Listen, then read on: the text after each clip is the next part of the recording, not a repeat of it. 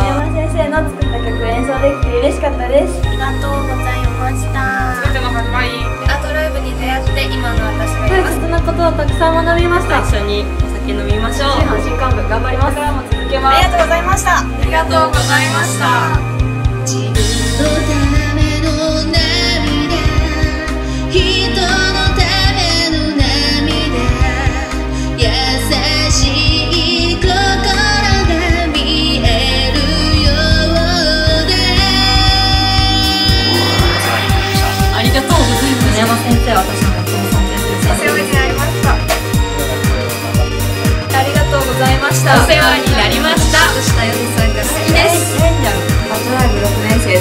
愛してます。お疲れ様でした。大変お世話になりました。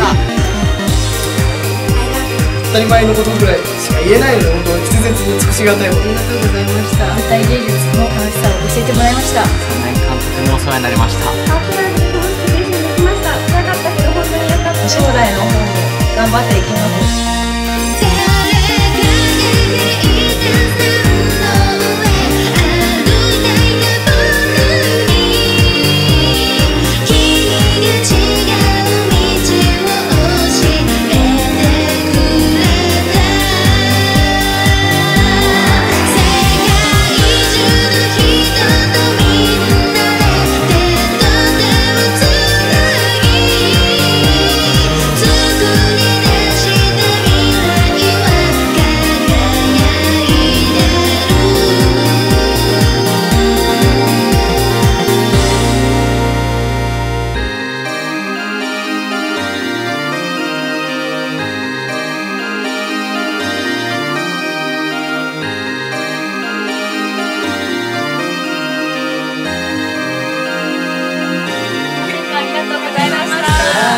たくさんお世話になりました。